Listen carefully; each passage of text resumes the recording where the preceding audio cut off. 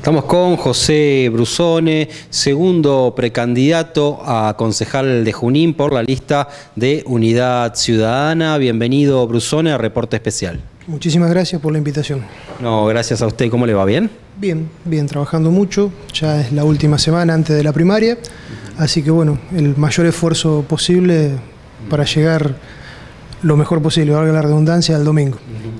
Los hemos visto recorriendo mucho los barrios, dialogando mucho con los vecinos eh, de Junín, no solo de la ciudad, sino también de, los pueblos del partido. ¿Qué han recogido ¿no? en esas eh, recorridas? ¿Cuáles son las demandas eh, más urgentes de, los vecinos? justito hace un rato vengo desde esa forcada.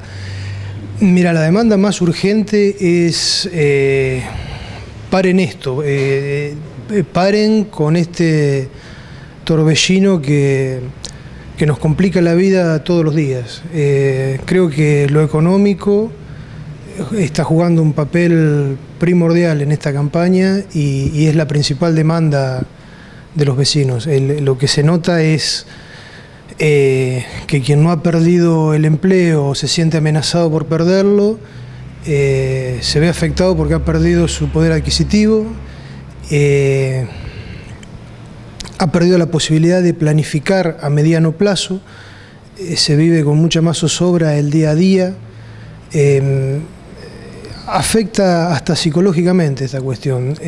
lo que nos dicen algunos referentes barriales es que trabajan fundamentalmente con chicos, con adolescentes, es que notan cómo incluso esta problemática económica repercute en otras problemáticas más de tipo social, por ejemplo, recrudecimiento de adicciones o problemas de violencia, porque esos chicos son como una esponja y empiezan a absorber en sus casas los problemas que a los padres los desbordan a partir de justamente estos problemas económicos. Realmente es muy preocupante, muy preocupante. ¿El municipio de, Junín tiene alguna responsabilidad sobre esto? Le pregunto porque, bueno, el, rumbo económico lo marca el gobierno nacional, el, si se quiere el gobierno eh, provincial, pero ¿qué se puede hacer desde lo local? Y es, es un tema ontológico, el tema este del del alineamiento que puede tener un municipio con respecto al gobierno nacional. Es cierto que la política económica se dicta a nivel nacional, pero también es cierto que el poder del intendente emana del voto de sus vecinos. Eh, este intendente no fue designado por el presidente de la nación. Nosotros, yo en lo personal y nuestra agrupación, espera de un gobierno municipal que se, que se posicione cuando la ciudadanía es agredida por medidas como por ejemplo un tarifazo demencial que, que, constituye una expoliación al bolsillo del, ciudadano, que se posicione como se han posicionado otros intendentes solicitando recursos de amparo, tratando de frenar esa medida. Lo que hemos visto es que, por el contrario, no solo no han dado respuestas a los reclamos de ese tipo o se han lavado las manos, sino como que eh, lo han justificado algunos de sus funcionarios, como que en aras de un sinceramiento supuesto, tarifario, que no es así, porque quien investigue un poquito en el tema se va a dar cuenta que esto no se trata de ningún sinceramiento, sino lisa y llanamente de un saqueo.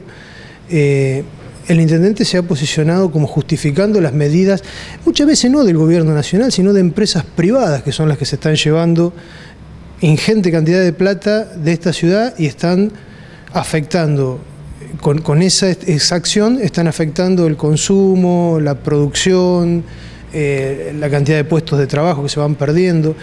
Yo creo que el municipio, si bien no dicta la política económica, se ha posicionado en un lugar entre neutral y cómplice. Eh, ¿qué, es lo, que hay que debatir? ¿no? Eh, en Junín eh, queda muy poco, estamos en la recta final, ¿no? hacia las pasos. ¿Cuáles son los temas, además del económico, que hay que poner en debate en la ciudad? Nosotros creemos que hay otros, otras problemáticas que son de orden estrictamente local. Uno que nos parece prioritario es el tema del transporte público.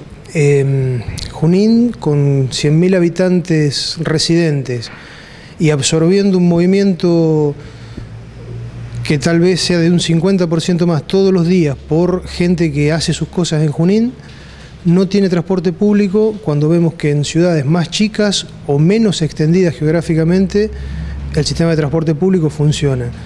Nosotros creemos que es solamente por una cuestión de desinterés o de, de idiosincrasia o de un mito acerca de que el juninense no quiere usar transporte público.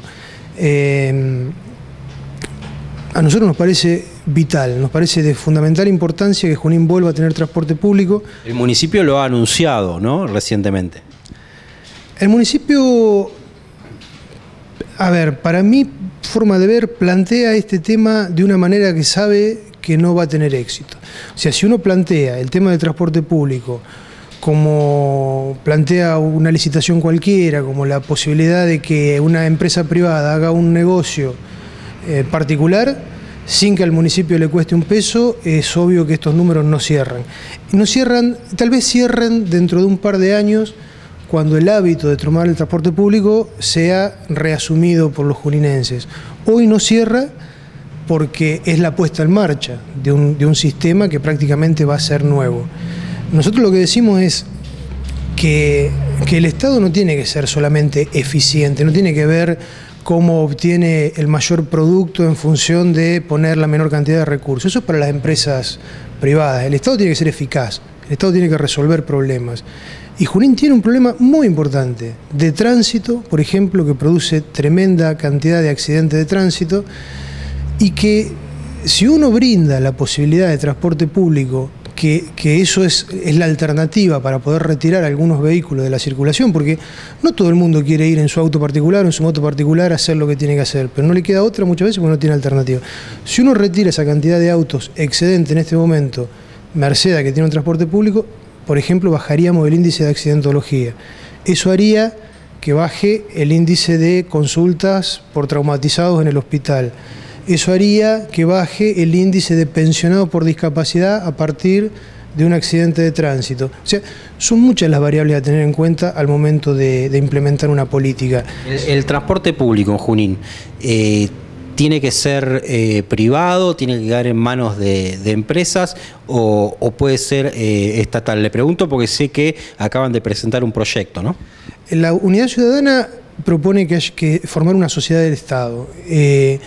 Esto no es la única opción, es la opción que nosotros, desde una posición de oposición, valga la redundancia, eh, hemos pensado. Em, si aparece la posibilidad de hacerlo esto en forma privada y con un subsidio estatal, bienvenido sea. Lo que creemos es que si el Estado se retira de la problemática, esto no va a funcionar. Lo que vamos a hacer es volver a decir que queremos transporte público, volver a anunciar el proyecto en una campaña, para después, con la excusa de que a los privados no les interesó, seguir teniendo eh, ausencia de transporte público. Me parece que si el Estado se retira, esto no, no va a funcionar. Vemos la, llegada ¿no? de, obras eh, millonarias eh, a Junín, algunas muy importantes, como el, el desagüe norte. Eh, ¿con estas obras alcanza o, desde Unidad Ciudadana piensan que eh, hay que ir por más, que falta un rumbo, que falta eh, un, modelo de, ciudad? Nosotros creemos que, la gestión municipal tiene que ser, tiene que propender a un modelo de desarrollo. parece que la municipalidad que ejecuta obra pública solamente eh, es un modelo perimido ya allá por los años 90. Hoy por hoy las ciudades eh, tienen que proponerle un modo de vida al ciudadano, no solamente resolverle el problema del servicio público, eh, particularmente cloaca, gas. me parece que tiene que ver mucho más. Obviamente que esto es importante y que las obras públicas que se están desarrollando eran muy necesarias. Nosotros las valoramos muchísimo, creemos que, bienvenidos sean. Eh, nos parece que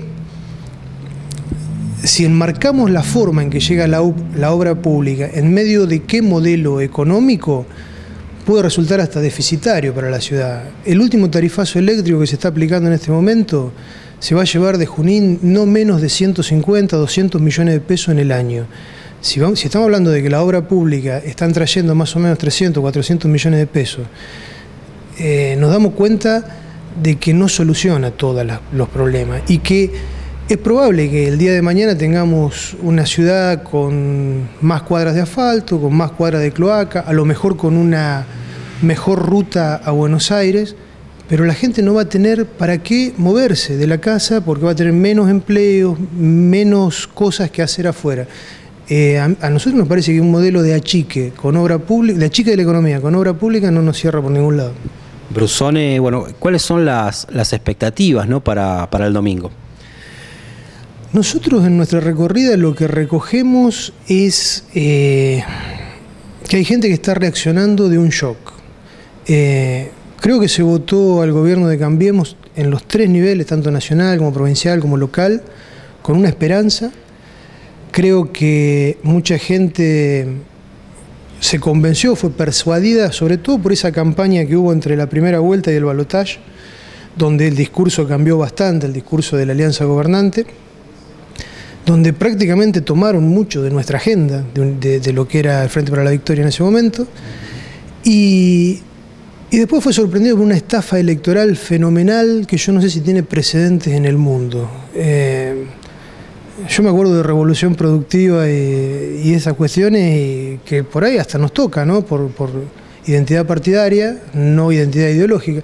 Pero yo creo que esto es aún peor. Esta estafa electoral que ha sufrido el ciudadano argentino, bonaerense y juninense en particular, recién ahora le está permitiendo despertar y está buscando la alternativa para volver a organizar su vida. Yo creo que Cristina Cristina Fernández de Kirchner es eh, la, menos incógnita de las opciones disponibles, porque ya sabemos eh, la capacidad de gestión, ya sabemos cuál es el modelo hacia el que propende su, propuesta, y creo que nosotros en Junín somos fieles intérpretes de esa propuesta. Eh, en ese sentido, nos proponemos en esta instancia como los posibilitadores de ponerle un freno al ajuste, de ponerle un freno a, esta expoliación y, tratar de empezar a llevar la voz de los vecinos a las instancias de poder. Muchas gracias. ¿eh? Gracias a vos, Franco, y bueno, eh, aprovechar para pedirle el apoyo a, a cada uno de los televidentes. Muchísimas gracias.